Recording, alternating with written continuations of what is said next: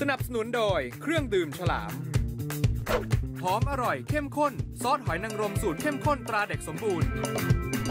ปุ๋ยศักดิ์สยาม ปุ๋ยคุณภาพมั่นใจครบสูตรทุกกระสอบ